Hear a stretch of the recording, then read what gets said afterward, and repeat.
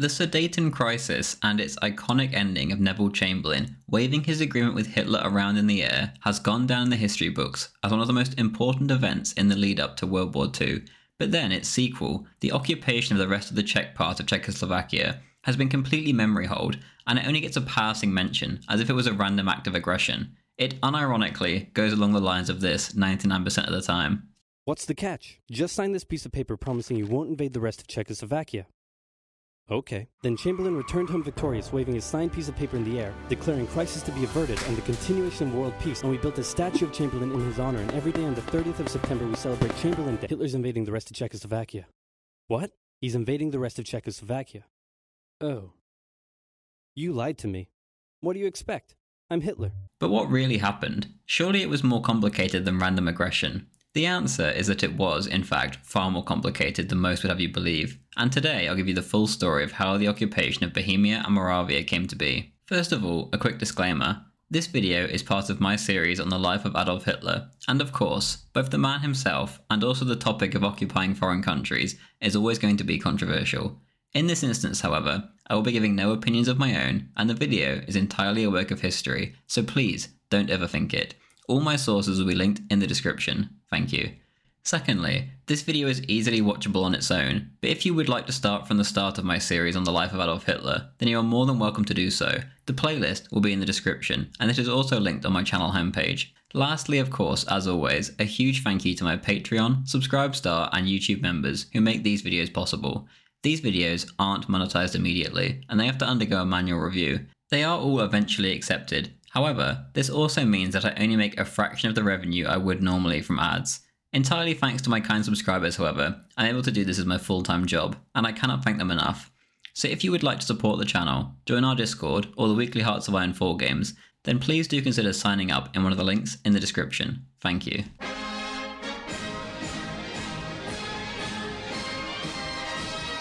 After the drama of the Munich Agreement, the world began to wonder what Hitler's next move would be.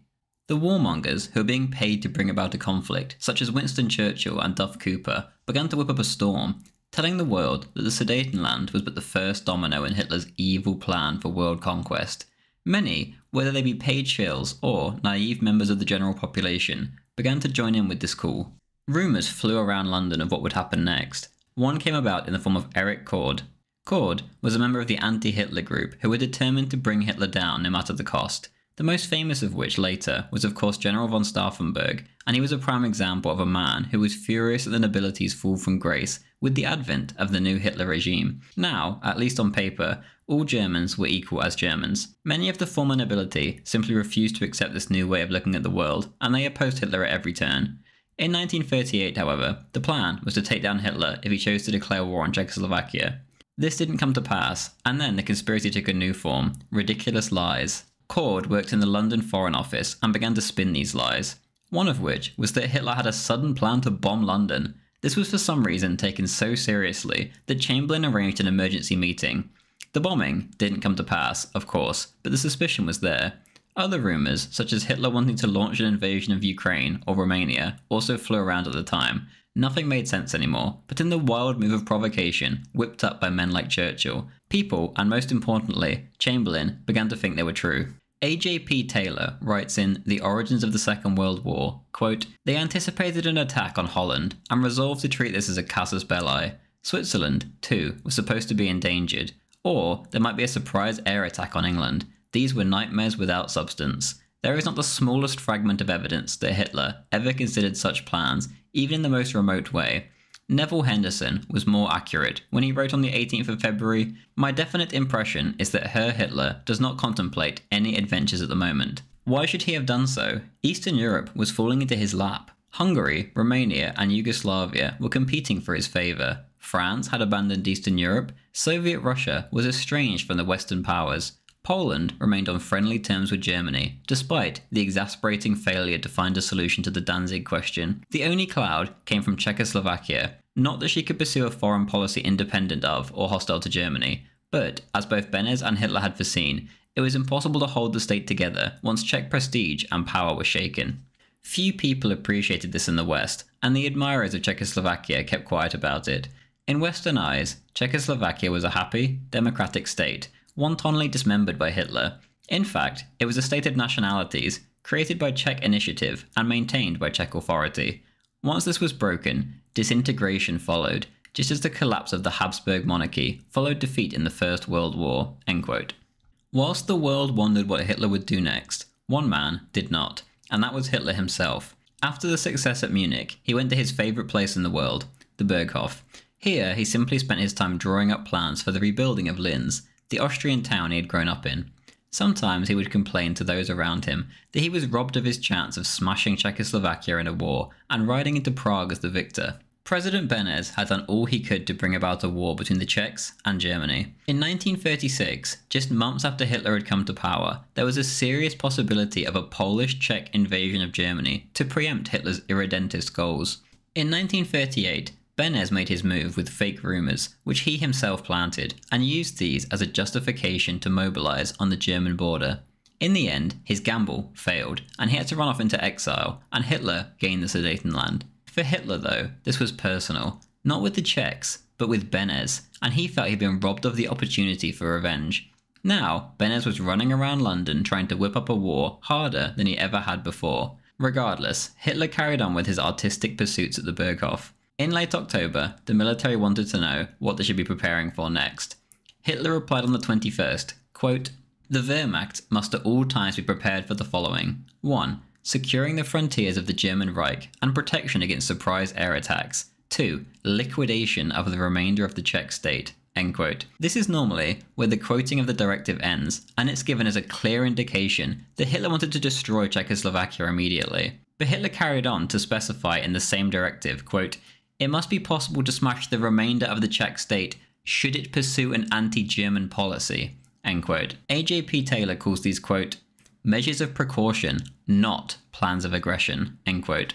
And he continued on, quote, these directives have often been quotes as proof that Hitler was never sincere in accepting the Munich Agreement. The truth is rather that Hitler doubted whether the settlement would work. Though often regarded as politically ignorant, he understood better than other European statesmen the problem of Bohemia and believed, without sinister intention, that independent Czechoslovakia would not survive when deprived of her natural frontiers and with Czech prestige broken. This was not a wish for Czechoslovakia's destruction. It was a belief held also by Masaryk and Beneš when they created Czechoslovakia in 1918. It was the principle on which Czechoslovak independence had rested from first to last. Essentially, Beneš had gambled away the Sudetenland, the area which basically made the entire state function. I'll quote myself from my video, The Complete History of the Sudeten Crisis. Quote, the real reason for the Sudetenland to be included was not due to any real claims the Czechs had on the area, but due to the defensible mountainous terrain and raw materials there. Beneš claimed that without the sugar refineries, glassworks, textile mills, smelters, and breweries in these lands, the state would not survive. He was right, the state wouldn't survive, and almost immediately, what was left of Czechoslovakia began to unravel, the Slovaks felt that the promises of Masaryk of regional autonomy simply hadn't been delivered. The country was called Czechoslovakia, but the reality was that it was a Czech state. One example is that of the 8,000 civil servants in the government offices, only 200 were Slovaks. In October 1938, the Slovaks and Ruthenians successfully caused enough of a ruckus to be granted their own regional parliaments. Instead of working within the system with these, however, the delegates in these parliaments just pushed towards eventual independence. For this fact, Hitler wasn't innocent either. Ever since Munich, agents from Himmler's SS, Goebbels' propaganda ministry, Goering's four year plan, and the Nazis' foreign organization were deep inside the Slovakian half of Czechoslovakia, stirring up nationalist sentiment. On the 21st of January, 1939, Hitler had a meeting with the Czech Foreign Ministry in which he demanded total Czech neutrality, as well as a reduction in the Czech armed forces. Hitler simply did not trust the Czechs anymore after the past six years of drama. Around this time too, contact was made with Vojtech Tuka and Hitler. Tuka was a Slovak agitator who had just been released from prison after Beneš ran off to England, and in Hitler, he saw his country's path to full independence, rather than the current hyphenated semi-independence with the Czechs. He, quote, telegraphed to Hitler a fulsome appeal to protect the Slovaks, and accept them as the economic and cultural colleagues of the illustrious German nation, end quote. On the 10th of February, Franz Karmasin, the head of the ethnic Germans in Slovakia, was informed that sometime in the coming month or so, things would be coming to a head with the Czechs. and that they should take the necessary measures for such an event. On the 12th, Tuka visited Hitler personally and told him, quote, My people await their total liberation by you, end quote. At the same time as this, there was the Hungarian issue. The Hungarians had seen the majority of their lands taken from them after the Great War, and now the focus point of their entire political scene was the return of at least some of these lands. When Hitler came to power, the Hungarians too saw their opportunity. When it came to the Munich crisis, the Hungarians acted laughably slow, however, despite all their words to the contrary, and Hitler would constantly mock them and their leader Horthy in private for being all talk. After a meeting with Horthy about the Slovak matter during the Sudeten crisis, he lost all sympathy with the Hungarian cause. David Irving writes in The Warpath, quote, It was inconceivable to him that Hungary was so reluctant to fight to regain her part of Slovakia, as he sourly pointed out to Imredy that afternoon, this is going to be a cold buffet. There will be no waiter service. Everybody will have to help himself. End quote.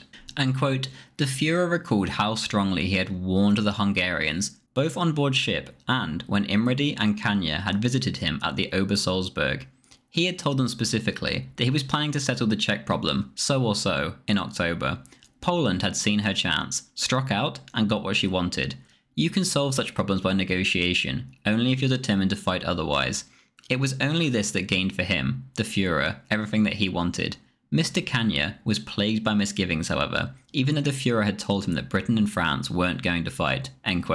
And finally, Hitler himself said, quote, I am not annoyed with Hungary, but she has missed the bus. End quote. For Hitler, the Hungarian ship had sailed, and now he would try his luck with the Slovaks, who proved far more willing to work with him, and as a result, till the end of the war, Hitler and the Slovaks would remain loyal friends, whilst the Hungarian relationship was always a strained one, with Horthy wanting everything his way, and at his own, slow pace. Some of the distaste for Hungary actually resulted from matters outside of their control. It was discovered between the two crises that Count Ciano, the Italian foreign minister, and Benito Mussolini's son in law, had hatched a strange policy of wanting to build up Hungary in order to halt Germany. Ribbentrop immediately saw through this policy, and it didn't help Hungary's cause at all, or the Germans' trust of the Italians for that matter. For now, however, Goering especially would use the Hungarian card to push the Slovaks to act. When Economics Minister Dekanski met him on the 28th of February, Goering said to him in typical Goering fashion, quote, Now, what's it going to be? When are you going to declare independence, so we'd have to turn you over to the Hungarians? End quote.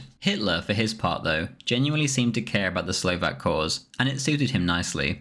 AJP Taylor wrote, quote, the Slovaks were a new element in Hitler's calculations, free both from the Czech devotion to democracy and from the Hungarian illusions of greatness. He regretted that he had not known earlier of the Slovak struggle for independence. It is often held that Hitler favoured Slovakia as a route for invading Ukraine. Geography really makes this as impractical as the reverse idea that Soviet Russia could threaten Germany through Czechoslovakia. Hitler backed Slovakia for her own sake, a steady, reliable satellite, as she proved to be throughout the Second World War. End quote.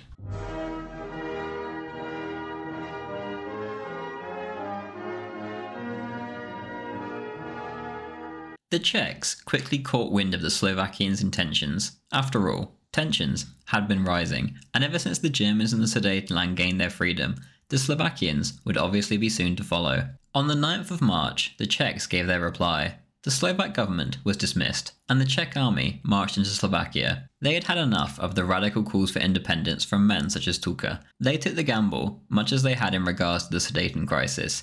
The state itself was barely independent by this point anyway. In reality, it was a nation simply trying to comply as best as they could with Germany's wishes. Regardless, they felt they had just enough autonomy left to put the Slovaks back in line. When Hitler got the news early on the 10th of March, he was left with two options. Letting the Czechs restore their prestige in such a way was out of the question, and regardless, the Slovaks seemed good to have on side. If he made the Czechs stay out, but didn't support the Slovaks, then Hungary would undoubtedly move in. It is unlikely Horthy would be asleep at the wheel a second time. As a result, he made the logical choice of supporting the Slovaks. Father Tiso, the Slovak Prime Minister, had taken refuge in a Jesuit college. Hitler quickly sent for him, but things weren't so easy. Confusion reigned in Czechoslovakia, and Emil Hácha, the Czech president, had already appointed a replacement for Tiso. It was beginning to appear as if the Slovaks had given up hope and weren't playing along. Germany wanted to intervene and help, but they had no official appeal from the Slovaks to do so. On the 13th, Hitler's agent arrived in Bratislava, found Tiso, and brought him to Germany. Tiso was told to make up his mind and proclaim Slovakian independence, and to do it now. After some brief hesitation, Tiso agreed and telephoned the Slovak cabinet in Bratislava, telling them what needed to be done. He then headed back to Slovakia at full speed, assembled his deputies, and read off the Slovak Declaration of Independence that had been written up with the help of Ribbentrop. An independent Slovakia was born. Thanks to the help of Germany, the two would now be inseparable allies. Carpathian Ruthenia also declared independence a few days later, but the Germans didn't care much for their fate and allowed the Hungarians to take it. Now was left the question of what to do with the rest of Czechoslovakia, or now, rather just Czechia. Their gamble had failed thanks to the interference of Germany. They were now, in all but name, a puppet state. Thankfully for Hitler, this question was answered for him, and Hácha, the Czech president, requested a meeting, much like Austrian Chancellor Schuschnigg had before the Anschluss. Hácha was left bewildered and hopeless. His gamble had failed. He had tried to keep the nation together, but evidently that was no longer possible. Now, with just the rump Czech state left, he didn't have high hopes for the future. He had already toed a very pro Hitler line, and he'd been a good neighbour, but now, with his state literally falling apart, he saw only one option. Before he even arrived, he told Ribbentrop that he was coming to, quote, place the fate of the Czech state in the hands of the Fuhrer. His request for a meeting was accepted, and Hitler ordered full military honours for his arrival. Hácha, by this point, couldn't handle flying. His heart simply couldn't take it, so he took the train instead, along with his daughter, who also acted as his nurse. Upon arrival, flowers were sent personally from Hitler to her room with a handwritten note. It was only at 11 pm, on the evening of the 14th of March, that Hitler and Hácha were finally ready for their meeting, and the old man was ushered in to meet the Fuhrer.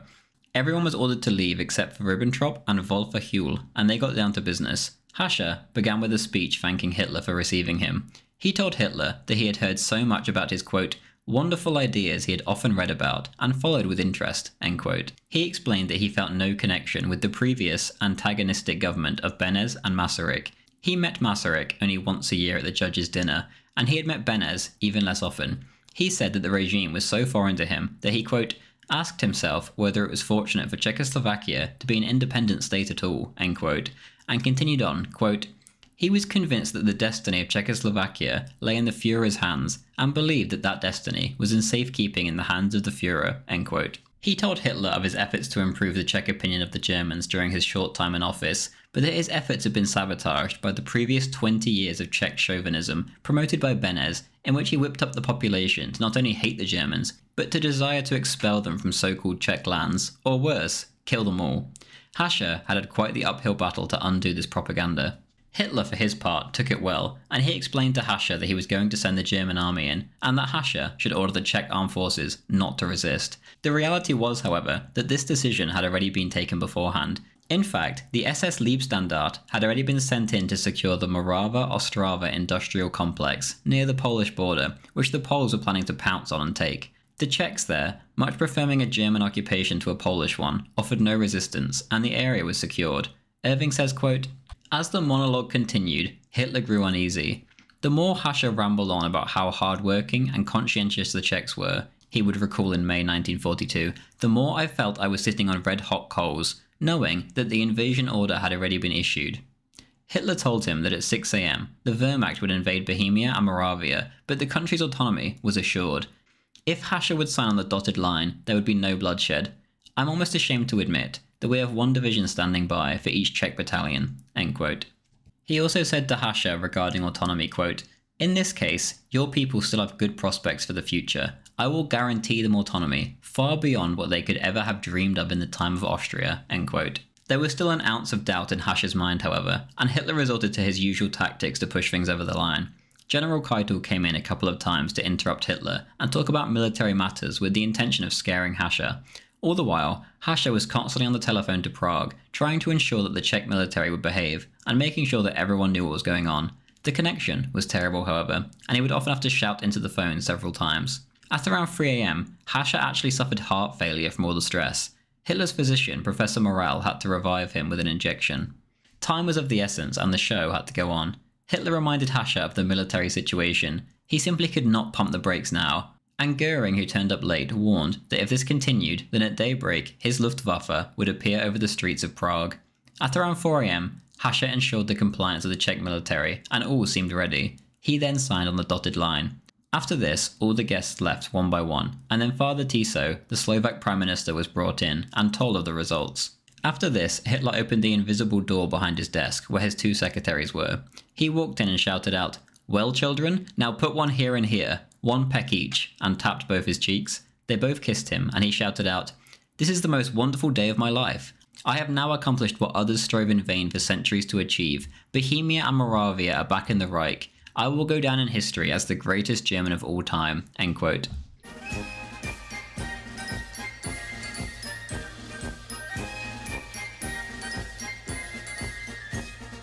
At 8 am, the invasion of Czechoslovakia officially began. By 9 am, the German army was in Prague, where there was no resistance to be found. Hitler himself was on his way first by train and then by car, and after seeing how well received the Germans were, he decided to simply drive right into Prague, much to the dismay of Himmler and the security staff. At 4 pm, he crossed the Czech frontier in an open top car, in which he stood up saluting his regiments. At dusk, he arrived in Prague and was taken to Hradčany Castle, a guide was found to show them to a place where Hitler and his entourage could get some rest later. The Fuhrer then stayed up writing a law establishing the German protectorate over Bohemia and Moravia. At 2 am, he finally ate, and a cold buffet arrived for him, along with a Pilsen beer, which he was encouraged to try. He did, but looked disgusted and refused to finish it. He then went to bed. The first that many citizens of Prague knew of Hitler's presence was when his swastika rose above the palace roof the next morning. In Italy, Mussolini was furious. Quote, even Mussolini was disgruntled. He complained to Ciano on 15th of March, quote, Every time Hitler occupies a country, he sends me a message. He dreamt of creating an anti-Hitler front, based on Hungary and Yugoslavia. By the evening, he had recovered his temper. We cannot change our policy now. After all, we are not political whores. And he once more paraded his loyalty to the Axis, end quote. The French simply didn't care. The French foreign minister said, quote, the renewed drift between Czechs and Slovaks only shows that we nearly went to war last autumn to boost up a state that was not viable. In London, the initial reaction was that it was a matter that shouldn't concern them. The British public didn't feel the same way, however. They had undergone far too much Churchill propaganda to give Hitler the benefit of the doubt. After all, from the outside looking in, the occupation looked much like brazen aggression. Eventually, Chamberlain was obliged to make an anti Hitler speech on the matter. Quote, is this in fact a step in the direction of an attempt to dominate the world by force? End quote. A week later, though, Hitler got quite a different message. In fact, Chamberlain had been trying to get out of Britain's guarantee to Czechoslovakia for months now, and this suited him quite nicely. Quote, about a week later, however, Chamberlain reassured Hitler for a third party that he quite sympathised with Germany's move, even though he was unable to say so in public as he was being exposed to intemperate attacks by the Churchill clique. End quote. The tears of Churchill and his paid warmongers paled in comparison to the actual benefits Hitler would receive from the occupation, however. His eastern border had been shortened by 1,000 miles. He had a mass of new airfields to defend Germany, or to attack Poland or Russia if the need arose. The Czech gold reserves would save Germany from the current problems facing their economy. Romania and Yugoslavia were entirely reliant on the Skoda arms factories, which were now in Hitler's control, as a result, they would slowly drift into his orbit and be forced to accept a pro German line. Most of all, the occupation gave them an unbelievable supply of military equipment. In fact, during the invasion of France, a massive amount of the tanks were actually just Czech ones.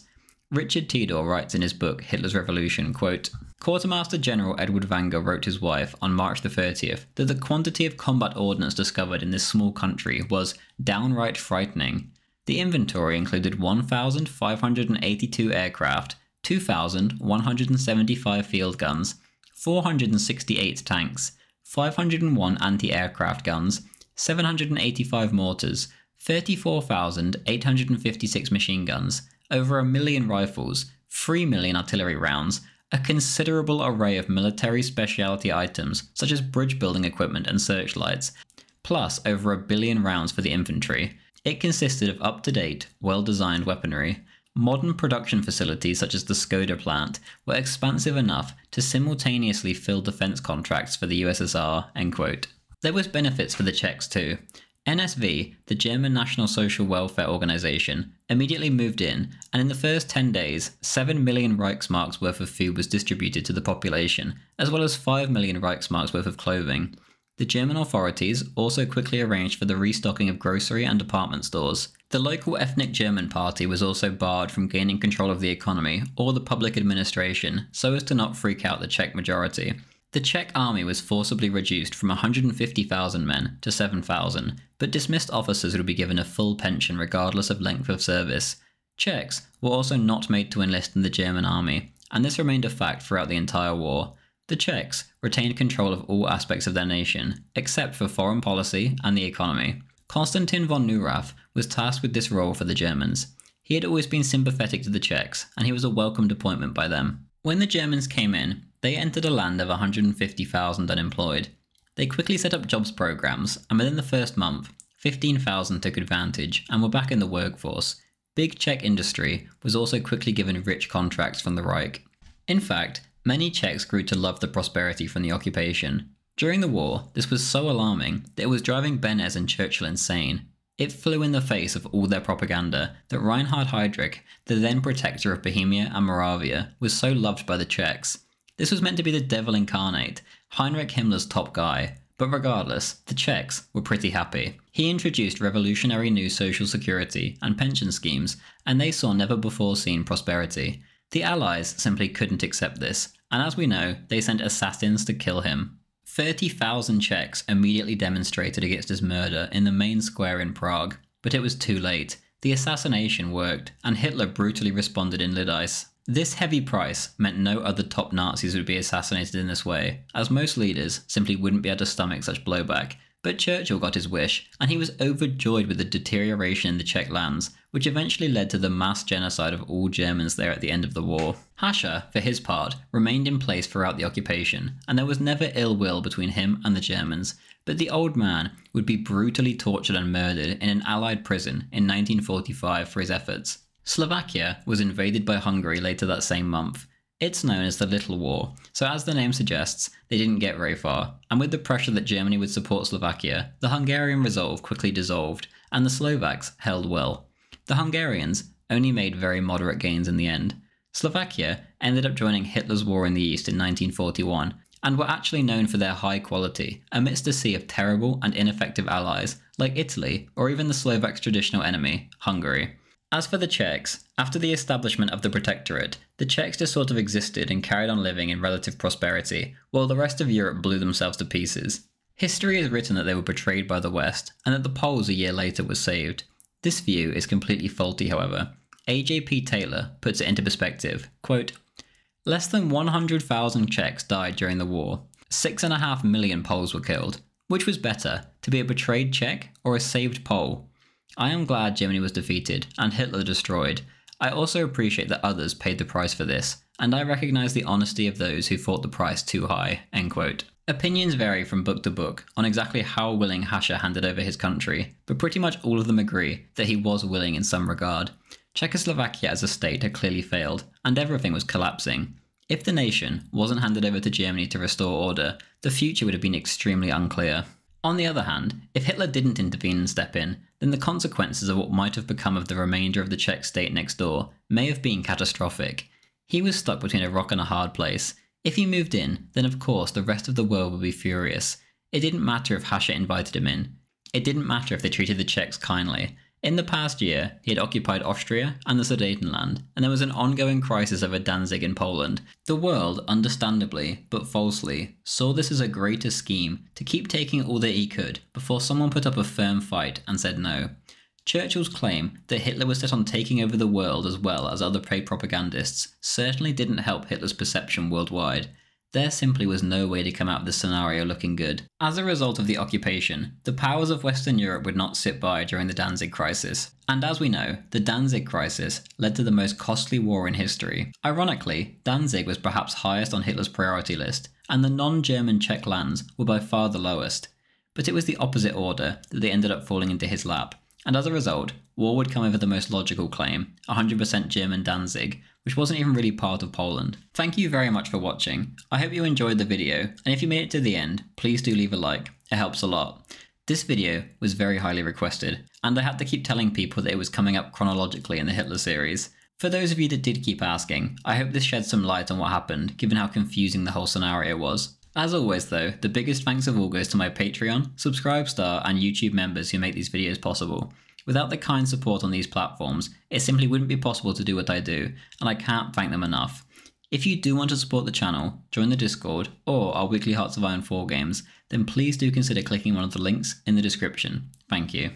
Thank you to Lobster to Darway Lololol, Sigmar, Emperor Titus, Luke David Murphy, Chechen Natsok, Anton Berglund, Levi E, Friendly Brian, Mr. Malabar, Bushak, Firefly Enterprise, Henry Unruh, Evan Brightfield, Chef Jeff, Ethan Winstanley, Wunderwaffe, Mr. Bloom, Gav D, Guys Longanese Hanno, JD, Green Rebel, Angus Roxburgh, Rucksacker Too Heavy, Alexios Podcast Watcher, Citadel, Haste, Bojan M, Rick Me, Mr. Gaming, Cameron, Sludwig1919, Gloomy, Troy Harser, Jagdkampf, Rowan, Swedish Chef, Honda, Mirko, David Byers, Max Anton, Gragas, Conqueror, Espen, Khan, Luka Marincic, Veritas Unleashed, The Real G, Joel, Ghost 0128, Jack, Bobby Atkinson, John DeGrief, Ward, Crankless, Dramatic Equation, Russ Hale, Senator Armstrong, Lucas Drury, It's Okay to be a Nationalist, Inflection Point, Vet Exempt, Automat 762X39, Monsoir Mercier, Charlie Black, The Waller, Suma Klubayek, Jorgen 1997, and Admiral Kempinski.